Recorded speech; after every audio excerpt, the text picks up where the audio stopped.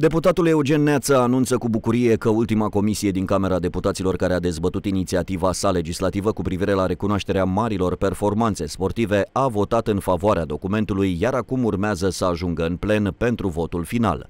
Ultima comisie din Camera Deputaților care a dezbătut inițiativa mea legislativă dedicată recunoașterii marilor performanțe sportive a votat în favoarea documentului care merge acum în plen pentru votul final. Toți cei prezenți la întâlnirea Comisiei pentru Tineret și Sport au votat în favoarea acestui proiect și mulțumesc pentru fiecare vot în parte. Printre altele, am inițiat întâlniri cu Comitetul Olimpic și cu federații naționale pentru a adăuga opinia și susținerea specialiștilor și a beneficiarilor la această inițiativă legislativă. Sunt bucuros astăzi să vorbesc vorbesc despre faptul că legea a trecut cu raport de adoptare și de ultima comisie de dezbatere a declarat acesta. Proiectul inițiat și promovat de către parlamentarul Vâlcean a primit voturi favorabile de la toți cei prezenți la întâlnirea Comisiei pentru Tineret și Sport. Parlamentarul Vâlcean a sesizat o mare inechitate, astfel că inițiativa sa legislativă a fost depusă în perioada în care sportul românesc trecea printr-o perioadă grea, iar proiectul acesta a fost gândit și propus să facă dreptate pentru toți sportivii medaliați internațional și pentru antrenorii lor deopotrivă. Argumentul acestei inițiative a fost acela de a stimula interesul pentru marea performanță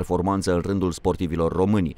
Deputatul Eugen Neață a documentat această inițiativă și a scris-o la finalul anului 2020, apoi a fost depusă în Parlamentul României în anul 2021 și a susținut-o până în prezent în fiecare comisie prin care a trecut.